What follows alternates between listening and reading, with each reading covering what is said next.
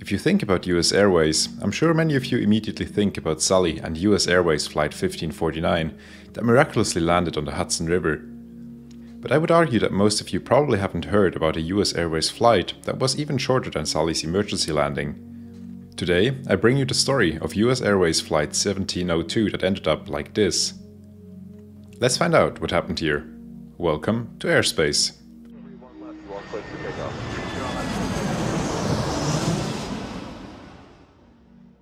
On March 13, 2014, a US Airways Airbus A320 was preparing for departure in Philadelphia. That day, the flight deck was occupied by two very experienced pilots, a 61 year old captain as well as a 62 year old first officer.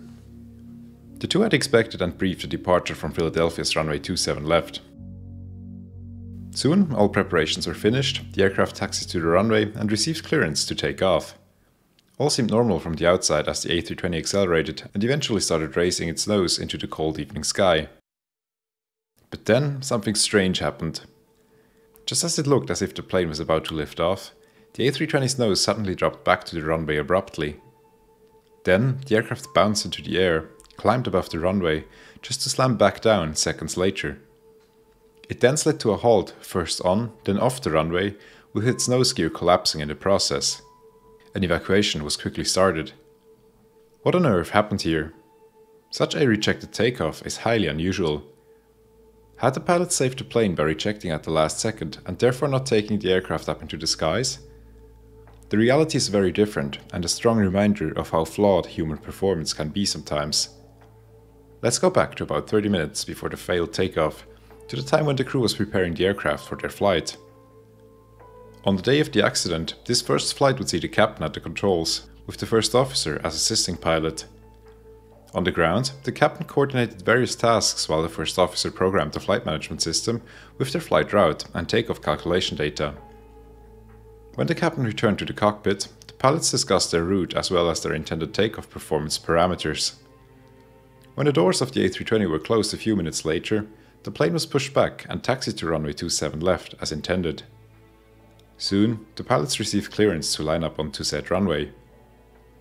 As they did so, the captain suddenly realized that the first officer had inserted the wrong departure runway into the flight management system. Instead of the intended runway 27 left, it indicated that it was programmed for runway 27 right. The captain asked the first officer to quickly insert the correct departure data into the system as he lined the aircraft up with the runway. This action was completed a few seconds later, and the crew thought themselves to be ready for departure. Now, to understand the following sequence, let's take a brief look at how a takeoff actually works. Every takeoff maneuver needs to be thoroughly calculated to assure the highest level of safety for the aircraft and its occupants. In order to perform a takeoff, three speeds must be calculated, each abbreviated with a V, which stands for velocity. First, there is V1. This speed is also called the decision speed. Once the aircraft reaches V1, a takeoff can no longer be rejected in a safe manner without overrunning the runway. Therefore, for all failures that occur after V1, a takeoff has to be completed. That includes severe failures and engine failures. The second speed is called VR, or the rotate speed. At this speed, the pilot will raise the plane's nose to the sky so that the aircraft will lift off. Most of the time, it is very close to V1, but large splits are also possible in certain circumstances. And lastly, there is V2, the safe climb speed. It is used in case of an engine failure to climb away safely, that is with a climb rate that clears all obstacles in the flight path after takeoff. There's also another fact that many people don't know. Most takeoffs are not conducted using the maximum available thrust of the engines. Reducing the thrust by a few percent reduces the fuel burn and the engine wear, and therefore maintenance costs greatly. A safe takeoff can usually still be performed at reduced thrust levels. If not, maximum thrust is of course used. This reduced thrust setting is called a flex. To obtain all these speeds and the flex I described above, most airlines use some form of a takeoff performance application on a tablet or computer.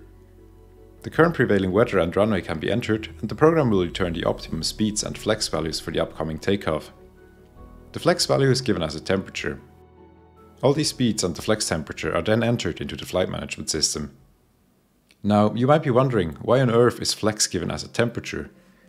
An entire accurate explanation would fill a video, so I'll just give you the short version. By entering a flex temperature, one is actually telling the engine's computers that this temperature, for example 68 degrees, is prevailing outside. That is, if you will, a little swindle because outside it obviously isn't 68 degrees Celsius. This would be very hot and the engine therefore limits its maximum thrust to protect itself, which results in a lower thrust on takeoff. I know, it's a bit strange. Here is how a complete takeoff setup looks in the A320. Now, let's go back to US Airways Flight 1702 that had just lined up on the runway. After the captain had discovered the wrong departure route in the flight management system, the first officer dutifully reprogrammed the correct one into it. Doing this automatically cleared the takeoff performance data, since these calculations are specific to every runway. They need to be redone in case of a runway change. The flight management system also notifies the pilots in that case with a message printed in amber that reads Check takeoff data. But for some reason, the co-pilot omitted this. A few seconds later, the flight received takeoff clearance and the captain advanced the thrust levers to the flex position on the throttle quadrant, right here. This is the correct action to initiate the takeoff with reduced thrust. The thing is, this will only work if a flex temperature is entered on the takeoff page of the flight management system. In this case, however, the takeoff page had been cleared when the first officer entered the new departure route. Therefore, the A320's warning computers now generated a warning, thrust levers not set, since the engine controllers did not know what thrust to set with the flex temperature missing. Instead of the required flex thrust, the engines now delivered another thrust value that is somewhere between normal climb and maximum power. Confused, the captain said they are set and continued to take off. Now, several events happened in quick succession. First, the aural retard alert started sounding continuously. No, this is not an insult, but a reminder to reduce or retard the thrust levers when landing. This alert is misplaced on takeoff and a result of the incorrect thrust setting. Confused, the captain asked the first officer, What did you do? You didn't load. We lost everything. Quickly, the first officer apologized and the captain said, We'll get that straight once you get in the air. Their displays no longer showed the target values for V1, VR, and V2. Speedset would have been very much essential for a safe takeoff. All this happened while the aircraft was still hurtling down the runway. When the A320 reached a speed of 164 knots, the captain raised the nose of the aircraft to get airborne. But just as he did so, he changed his mind. At this very moment, he now felt that the aircraft was not safe to fly. So, after ignoring all previous warnings and procedures, he put the thrust levers to idle and slammed the nose wheel back to the runway hard. The impact of the nose wheel had the opposite of the intended effect. It bounced off, lifting the nose of the aircraft higher. Since the A320 carried a lot of momentum, it now became airborne and climbed to 15 feet above the runway, while the engines wound down to idle. It quickly bled off speed and started coming down while the captain provided erratic inputs that included full nose up and full nose down commands in rapid succession. After just a few seconds, the plane came down hard, tail first, then with the main landing gear, and in one fast motion, also violently with the nose landing gear. The latter fractured on impact and the aircraft slid to a halt first on, then off runway 27 left. An airport surveillance camera captured a breathtaking takeoff rejection attempt of the aircraft. Watch closely in the upper left corner.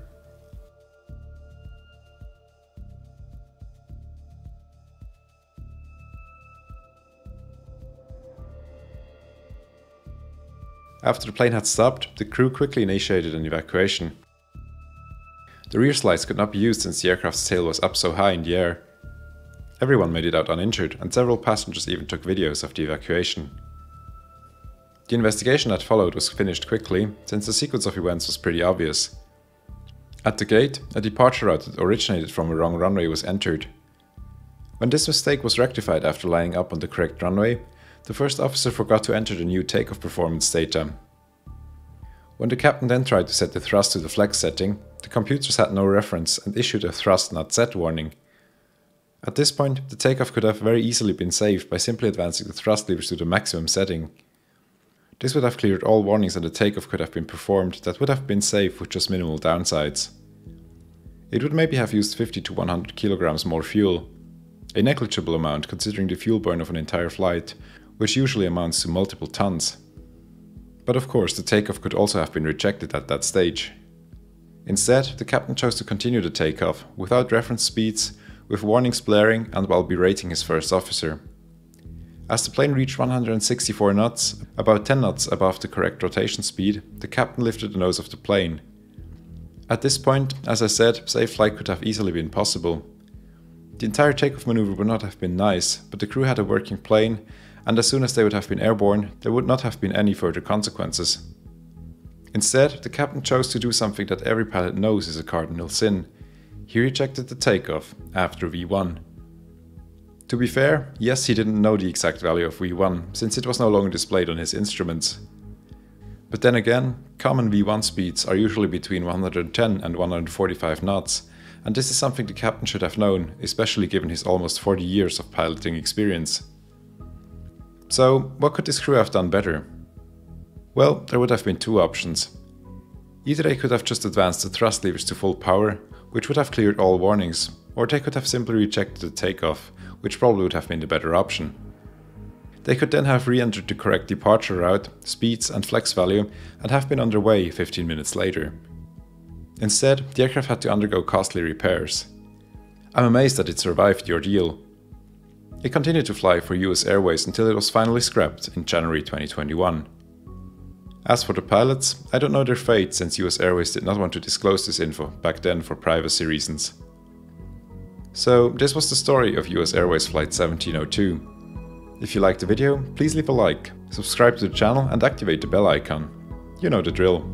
Thank you all for watching and see you in the next one.